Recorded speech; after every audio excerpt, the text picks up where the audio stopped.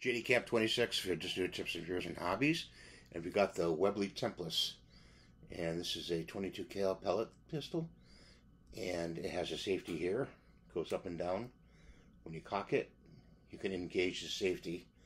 It has a rear sight adjustable, front, front sight fixed, and it's stamped right here what the caliber is. Always on these, they're stamped right here what the caliber is. If you want to cock these to fire the pistol, you hold it like this away from you and you engage sorry about this guys you engage the release. There's a release right here. Hold it like this okay? And you can cock it very easily. And then you put the pellet in and then you put it down like that and you fire it.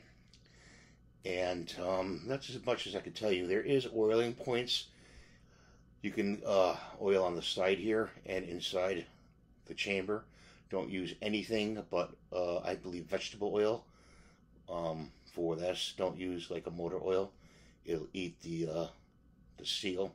And there's a seal in the in the top right here, a rubber seal. You use silicone, I suppose. That would be okay. So um, that's the Webley Tempest. It's made in England, Birmingham actually. And uh, if you have any questions, please let me know. Thanks and have a great day. Safe shooting to you all.